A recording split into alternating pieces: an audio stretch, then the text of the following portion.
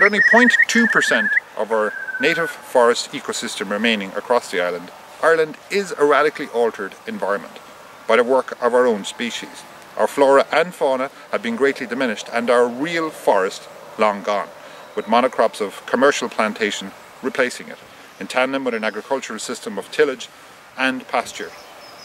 There is one bastion remaining of our natural resource, a national reserve of our rich but declining biodiversity, our hedgerows.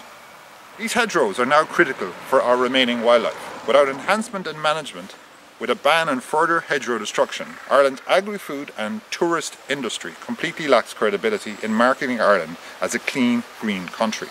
As a nation, we have to wake up to the value of the web-like ecosystem, ancient in some places and more recent in others, which are our hedgerows, if we do not want to become an ecological desert. The hedgerows define the Irish landscape.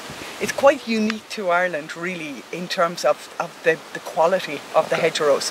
A hedgerow was um, a boundary, so it's a boundary system to uh, put a wall or a, a, system around a town or a village or to delineate um, landscape. Okay. So the farmers in the old days, in order to know their section, they put a hedgerow around it, and that marks that was the mark, demarcation system.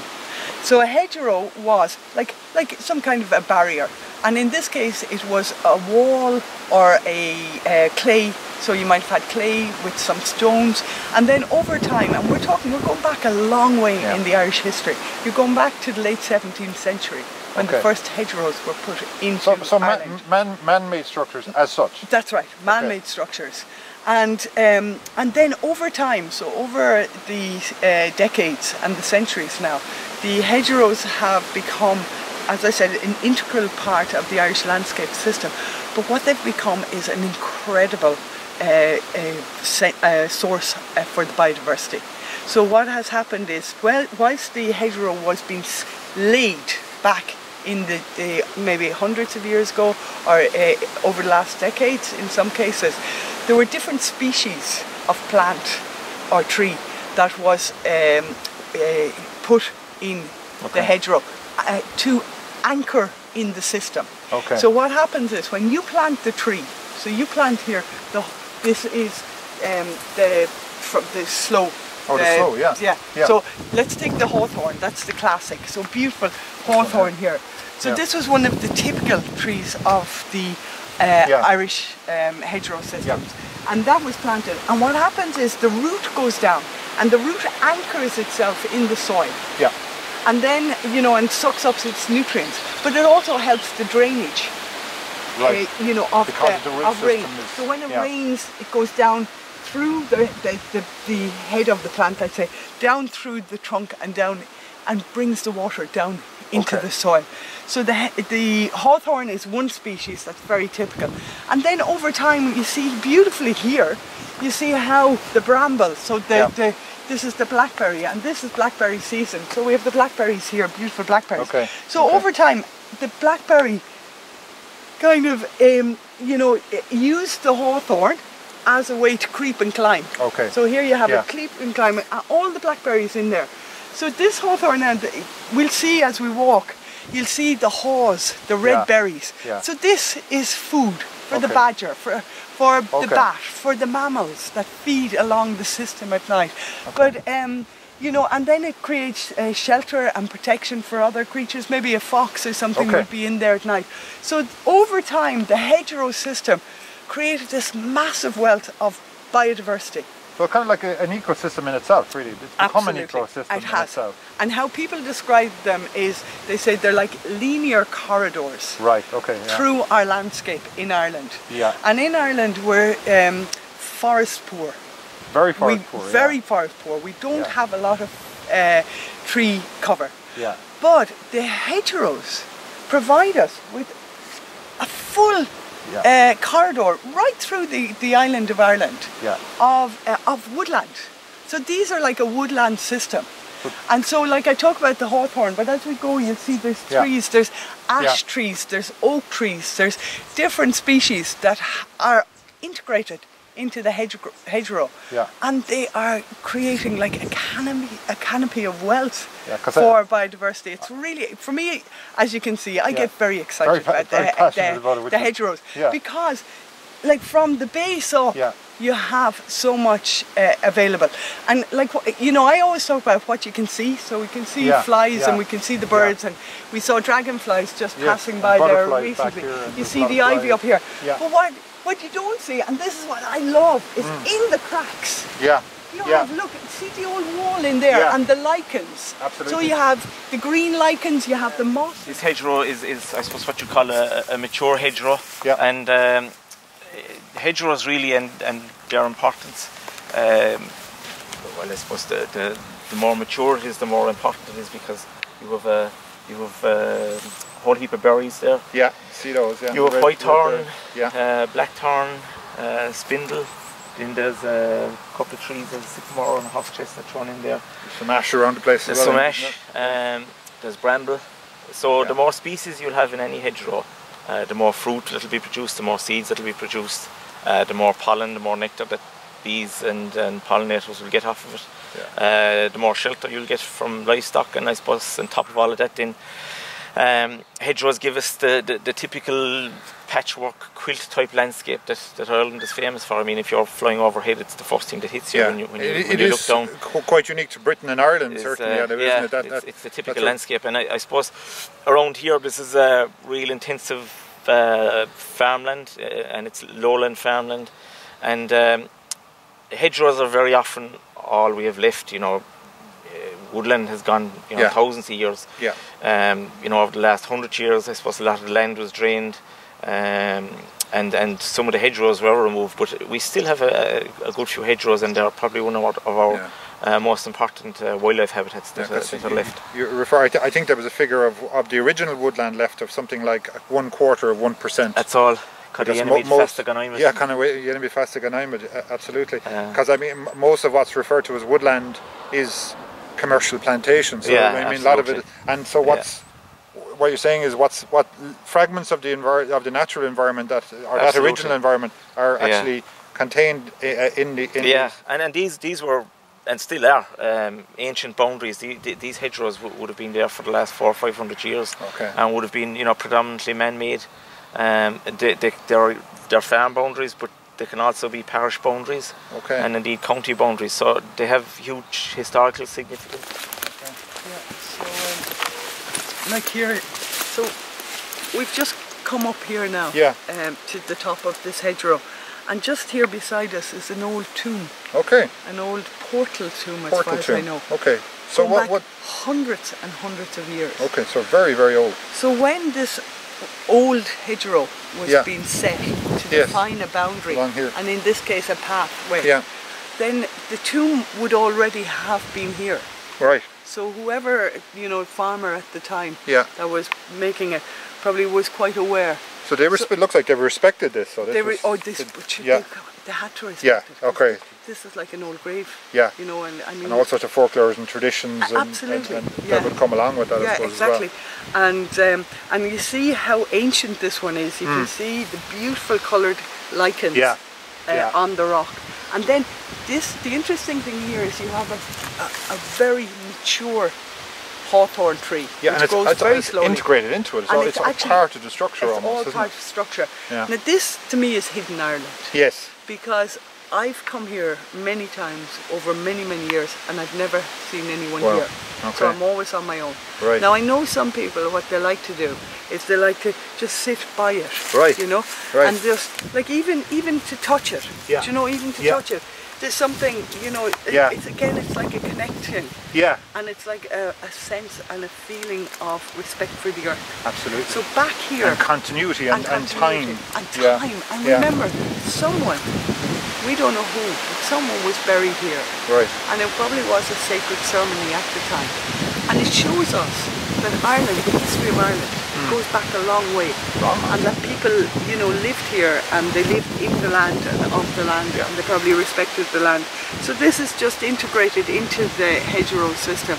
And you can see again, like we have the nettle Hmm. here, we have a bit of wood sorrel here, the beautiful wood sorrel. Yeah. Now I, I love the wood sorrel because you see it's got a little heart. Yes, heart. it's like a three So little green hearts. I'd yeah. often say to the children when I'd be bringing them on the walks, Yes. I'd be saying, look, Valentine's Day, just take just one of those one and of give it to your mother or your Yeah, father, you yeah, know. beautiful, yeah, and then you have a bit of pea, wild pea here, the veg, Oh, yes, yeah. the, the different types of veggies and that. of course, the natural. Uh, yeah, and Yeah. Um, so again, uh, the, you have oh, the blackberries, Yes, the, the like ferns, Yeah. uh, the ivies crawling up the hawthorn. So Yeah. uh, big, big um, sycamore above us again. Just behind us So, yeah. like, we're surrounded Yeah. again in biodiversity. Absolutely. And native.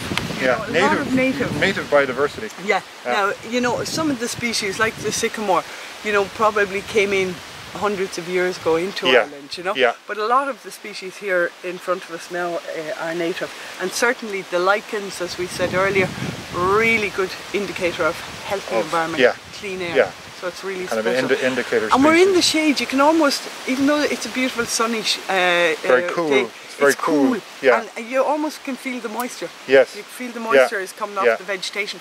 So all that vegetation, it's sucking in the sunlight. Yeah. And this evening, then, when the sun goes down, it'll transpire. The moisture will come out. I suppose in the last few years, uh, you were referring to the h- hedgerow removal back, and I remember being brought up in the country myself back in the 70s and 80s. There was a real drive.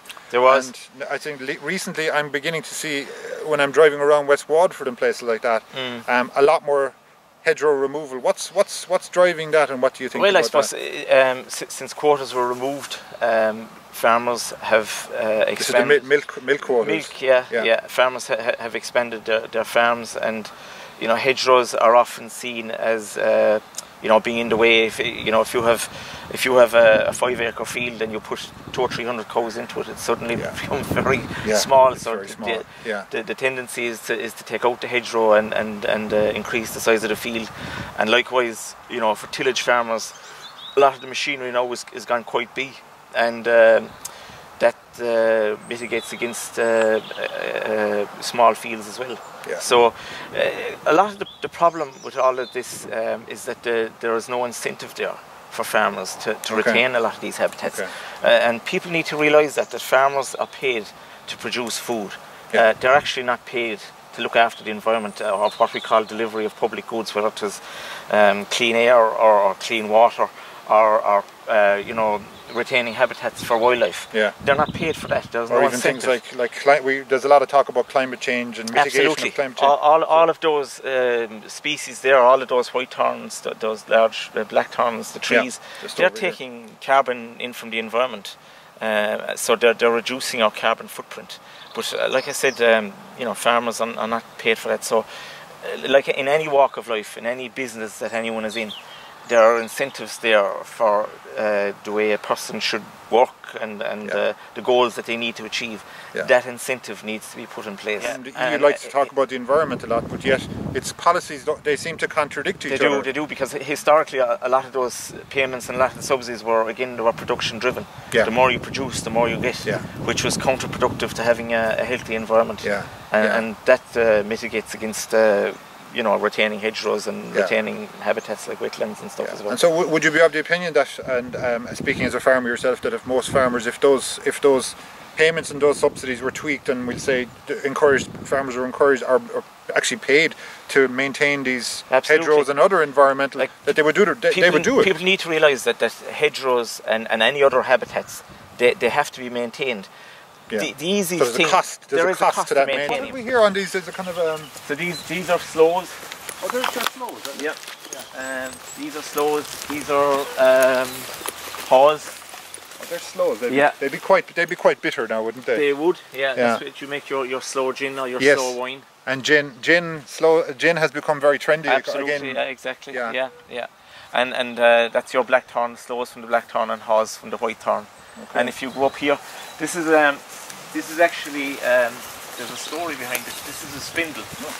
And spindle isn't um, This one here, the green, the green pink, one. The pink. Oh, uh, the pink. The pink berries. yes, yes. Now, for years and years, like I said, we, we were shaving that hedge, Yeah. and um, when I know that it was only when we started to, and allowed it grow Yeah. that we realised this spindle was here. Right. Now, I remember uh, my father talking years ago uh, about uh, a cuckoo.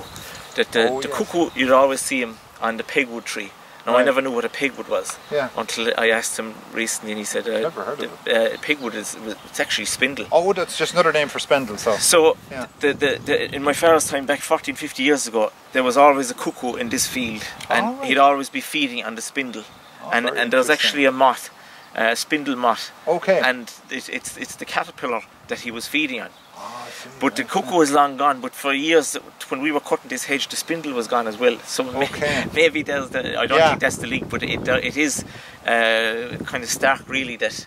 Yeah. When, when it's only now that you realise that that spindle was there And a for lot of- years and, and- years, and a but lot of was these never yeah. never got the chance to, Yeah. to grow and produce fruit. And a lot of the species that would, we'll say, like you say, the cuckoo has uh, fed on very specific Uh, uh, other species absolutely. that needed obviously plant, very specific plants. So it's kind of like a cascade. Yeah, a cascade, when you remove something, Yeah, or and the there's other consequences are species, down- yeah, down- all the ways down, down the line. Yeah, And- it starts at the bottom. Yeah. Like if you don't have the plants, you won't have the insects. If you won't have the insects, you don't have the birds. the capacity to actually see it is so important as well. Because a lot of people, and, and we can all be like in very busy lives, um, moving along and not passing this, and even just say, look, take five minutes to, to look Yeah. at this is. I, I think you made the point earlier on about our, our, our health and, and, and mental health as Yeah, well. yeah. Um, and I, th- I think there's a lot of there's a lot of research being done now. Um, I think there's a lot of research being done in places like Finland and stuff like that on um, mental health and nature. And Yeah. if you're exposing people, even in urban environments, to trees and biodiversity, it actually has positive benefits Yeah. for mental health. Yeah. So I mean, places like this are actually very very important. Yeah. Well, you see, I think if we look at this and there's an abundance of species here, again, it's, it's a healthy environment. Hmm. And if we are standing here in a healthy environment, the air is fresh, um, you know, a lot of vegetation, Yeah. that's looking good. If Yeah. this environment wasn't good, you wouldn't have the lichens, you Yes, wouldn't have the blackberries. yes. So this is an indication Yeah. of the good, healthy Irish environment. Okay. And the fact we're here on my doorstep, which Yeah. is Tramore Yeah. in Waterford, Very lucky. showing this to you Yeah. is a privilege. You know, it's an absolute privilege.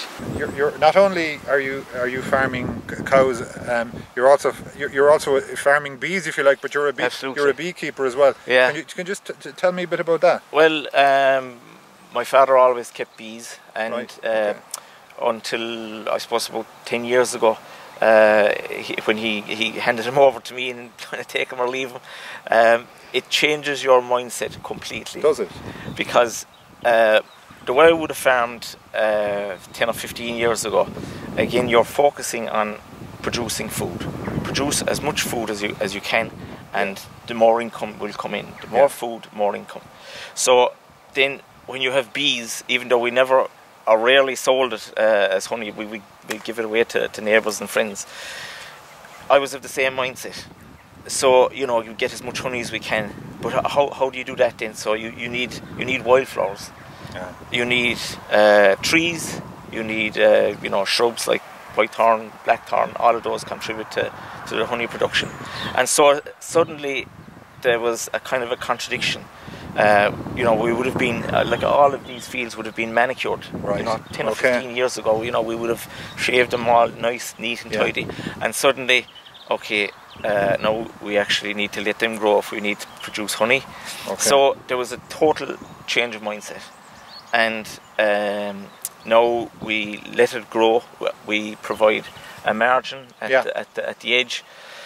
Um, the hedgerow is, is, is only trimmed at the side so that um, Yeah, it's, it's- it's allowed it's allowed Yeah, grow, yeah. uh, and you get the full benefit then of the blossom, and you get the full Well, and it's still it's still not because I'd see a lot of hedgerows trimmed to to they're, they're really just hedges if you like. Yeah. Whereas this one, it's not it's still not encroaching into your field. No, you're not, you're not losing no, a huge amount. you're not. Yet you've a lot of there's a lot going on. There is, the and, and and the margin is where you'll have your wildflowers. Yes, at the know, bottom. At the bottom. Yeah. You're not going to have At the uh, edge, the That's where you, edgeland kind of thing, exactly. where That's where you're going to have all your, your pollinators. And you've got a lot of your like um, nettles and stuff. as yeah, well, you can see yeah. here Yeah. the difference. Where, where you can still this this hedge hasn't been cut for probably ten or fifteen years. Okay. But you can still see where the new growth. Yeah, it's, It's- all coming. It's, it's- it's, it's all from here coming up. out from yeah, Yeah. yeah, So for years and years, there would have been, you know, no value whatsoever. Okay, so it would have been age. cut right back into the Cut wood. right back in and yeah. cut down on the top as well, Okay. uh, and look lovely. Yeah, it looks very. I'm, I'm sure it looks very neat and from, very a, from tidy. a, a, a human point of view, but Yeah. from a wildlife point of view, uh, you know, it would have had very little value compared to the way it is now. Yeah. And I suppose that's that's a kind of a change of mentality for It people is as well. the tidiness, The tidiness, it's a huge problem. order, It's a huge, neatness, huge problem. Even, we're, we're so Yeah. humanized into into thinking that you know neat is good. Yeah. But neat is, is not good if if, if, if you're uh, if you're a, a species of wildlife. Yeah, they Uh, need somewhere. They, They need, need something. I mean, they, they're Yeah. flying overhead and they're not going to land in a grass field there because Yeah. you know There's there's, nothing to- predators and there's yeah. nothing there to eat. yeah, they're too open as They're well. too then. open, yeah, absolutely. they need cover. Yeah, yeah, yeah. If you if you take um, uh, John Lusby's work with Birdwatch Ireland, where where uh, he, he has a, a tracking device On on, the on the barn owl, on, on the barn owl, Yeah. right? Yeah, yeah. You'll see the barn owl will, will work all the hedgerows. He, goes, he, he does it in squares. Okay. He flies in squares, so he goes down one side of the hedgerow, he'll go up over the other, down the other. That's where the food is and that's where the protection is. Yeah. He's not going to cross the field. No, you're not going to see a barn owl out in the middle of No, the field. no. There's nothing so there for him. They're, they're corridors, and their corridors, likewise, bats are the very Right. same. So wildlife, what we're talking about really is, and it's not just, it's not just the trees and shrubs and plants we see. It's the, it's the other species, the, absolutely. the flora and the, whole lot, animals and the birds. Yeah. Bats, bats use them as corridors. Ba- uh, barn owls, long-eared owls, they all use them as corridors. And and um, even you know a fox or a badger.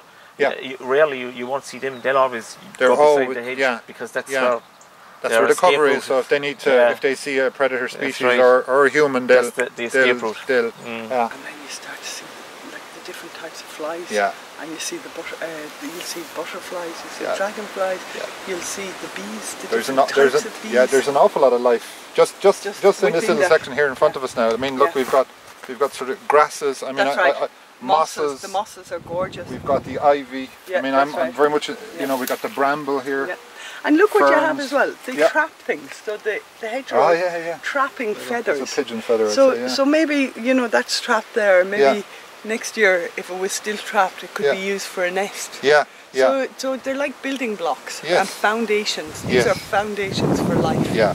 You know, and like you said, there is huge. There's a huge Uh, amount. huge of, there's a huge amount of life. You know, even ju- just to the even to the amateur eye. Yeah. If you stand here and just let it. Let, Yeah, Look, even look, look. See Yeah. all the little bugs up around the tree. Yes, there's an awful lot of insect Yeah. life around yeah. around the tree. Yeah, it's Yeah. And there's a beautiful ash behind us Yeah, as well. there's a beautiful so ash that's there, their yeah. own Yeah, mountain ash. it's a beautiful tree. alright. Beautiful tree.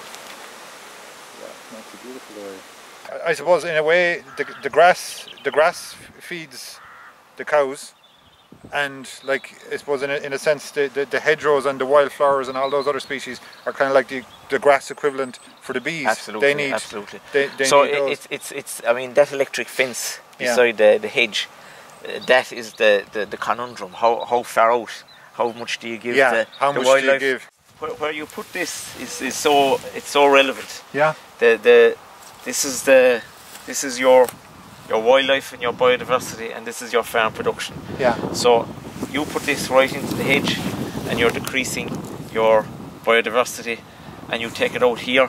Uh, Yeah, and you- you're encroaching you're onto the- encroaching onto the your economics of the farm. production. Yeah. So where where do you draw the line? Yeah. And this is the this is the, the conundrum, like you know. Um, So you you've know, obviously you obviously made a decision here. well, we, we, here, we made a decision because Yeah. I, I just get great enjoyment out, out, out of seeing the wildlife. But Yeah. um, you know, you've got to see it from a, a farmer's perspective and from a, a profit perspective. Yeah. There's probably uh, you know that that's a nice chunk of ground that's gone. It is. So that's going to impact on a farmer's profit. Yeah. But it, it, it, it also impacts on the environment in that you're, you're, you know, you're doing things for pollinators, uh, you're creating wildlife corridors, and you're also, you know, aesthetically, I suppose it's it's part, it's creating that that patchwork quilt type Yeah. landscape that, that Ireland is famous Yeah. for. But really, what you're what you're constantly talking about is a kind of a balancing act between It's a balancing act between economics pushing up against pushing up against- uh, against- the environmental. and and, and uh, against the delivery of, of Yeah. public goods that farmers Yeah. can, can can deliver. but I suppose the, the challenge there is to bring an economic value to this stuff as well. Absolutely, I think that's the whole thing, John. Yeah. Really, is that there has to be at the moment there is no value on that. Yeah. There, there has to be a value on on what's inside the wire here. Envir- environmental services. Environmental services. yeah. There has to be a value on that. Yeah. And until there is a value, hedgerows will keep being taken out, and you know we'll keep decimating the environment. But that provides a service that's not being paid for. Yeah. So really, the challenge is to say, like, when someone would come along here now, maybe another another farmer or another member Mm, of the public might come along and say, God, that's enough. That's waste ground. That's a waste there. Exactly. So really, what you, it's about Yeah. educating actually of what's going on here with with pollinator species which directly pollinate a lot of Mm, the crops we, we use, and also taking carbon out of the air because there's a huge consciousness now Mm, Yeah. of climate change. Yeah. Um, And, and uh, as you said there, waste ground, like this is Yeah, the uh, term. It's so negative. Yes. You know, you've waste ground, you have you've um, you know uh, scrub. Yeah. Uh, all of these terms are, are negative terms. What about the curlew? I Yeah. mean, the cry of the curlew. So Yeah. I, I'm old enough to remember. Very evocative. Yeah. Oh, Eamon de Buitléar Yeah. and Yes, Gerrit van yes, Gelderen. yes, to the waters and in the s- wild, the yeah. waters in the wild and, Yeah. and the sound of the curlew. And now we are being told, and we're being told fast. We're very close we're to it very disappearing from our. close to it becoming extinct. extinct, in our Yeah. environment. Yeah. And do we want to lose it? Yeah. And why are we losing it? Habitat loss. Yeah. And are we going to enable that and allow it to happen in our lifetime? Or are we going to try to protect it? And we may not be successful, but at least We should try. We should. We should. It's incumbent on us. And what could what, what that. could what could we do on a practical level? What people can people do, or what needs to be done, even at a policy level or a higher level? What what can be done to stop that Yeah. um, destruction, if you like, or, or start point us towards, I suppose, a place where we're nurturing nature more, or caring for it more, or just more aware of it. Yeah. Well, the first is our language. We need to talk about nature as something that we're part of Hmm. and something that we respect. And as we see here today, something Hmm. that we actually can love Yeah. and want to respect. And we need to uh, recognize that in all of our policies, whatever we're doing, be it in transport, in farming, in terms of agriculture, in terms of business development, small businesses setting up, we need to recognize that we have to protect in order to enable sustainability. Yeah. So I think we've gone so far that we've lost the ability to think about protecting nature. Yeah. And I, ca I feel I can say that as a senator Yeah. now in Leinster House Yeah. because I see how, in some cases, ministers are trying to push leg- and push legislation through, and it's legislation that is absolutely going to damage the environment. Yeah. Yeah. And I absolutely oppose that. Several different species of, of bumblebees, solitary bees, hoverflies, all performing, you know, Yeah. pollination. So pollinators in general are hugely important, and uh, the only way you'll improve the, the lot of pollinators is, is Is wildflowers yeah, or, yeah. or hedgerows. Uh, if, if they don't have, have hedgerows or wildflowers, well, there's no Yeah. food. So I suppose the, the health of the pollinator in the bee, in, in, in this case the bees over here Mm. or other types of bees, they're an indicator of how healthy Absolutely. or uh, diverse our environment is as well. exactly. Then, If, yeah. if, if you're living in an uh, in an area where, where that's you know sterilised, that there's no hedgerows, no trees, no wildflowers, um, you won't get honey there. No, I mean, any beekeeper that, that moves bees from place to place, they'll be able to tell you Yeah. that oh, that you get nothing in there, no down there Yeah. is a great place, or so on and so forth. so if you It's- just it's have a massive, massive, we'll say massive uh, one, just one field where just all the- prairies that, that, yeah. that there's nothing on it, you, there's no You- honey there's there. nothing- there's No, not gonna be enough. You need wildflowers. yeah.